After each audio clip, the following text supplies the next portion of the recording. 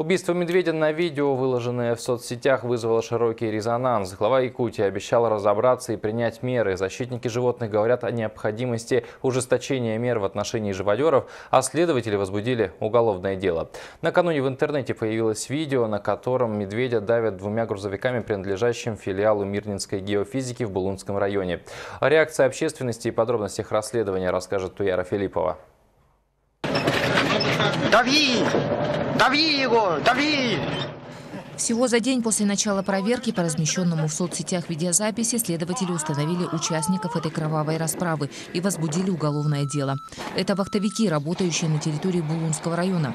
Местонахождение транспорта автомашин «Урал» тоже установлено и уже произведен их осмотр. Виновникам грозит уголовное наказание. Конечно, очень слишком э, жестокое обращение с животными. Это уголовно наказуемое деяние, которое влечет за собой наказание в виде штрафа от 100 тысяч до 300 тысяч рублей или лишения свободы до двух лет.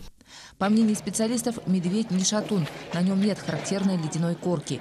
И он упитан. По всей видимости, зверя вывели из спячки. Произошедшее шокировало даже опытных охотников.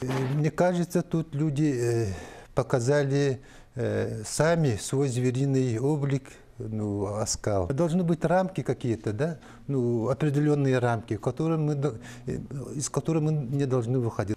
А у нас где-то оборвалось, и люди как-то э, э, хотят выставить свое «я». Стремление выставить свое «я», пренебрегая вековыми устоями и традициями народа – вот что особо должно беспокоить в этом случае.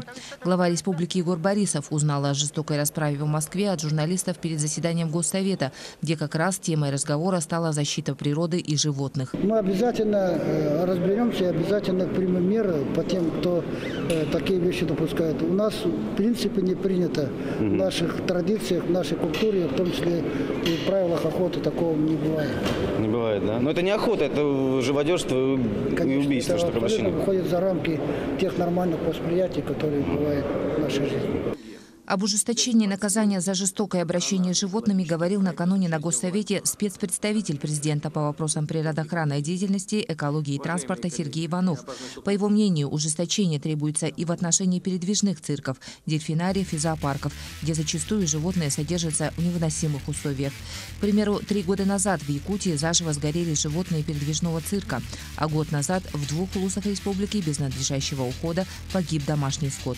Как правило, виновные часто избегают избегают серьезного наказания. А если дела и доходят до суда, то решения по ним широкой общественной огласки не получают, как это происходит с самими фактами живодерства. Туяра Филиппова, Владимир Таюрский, НВК «Саха», Якутск.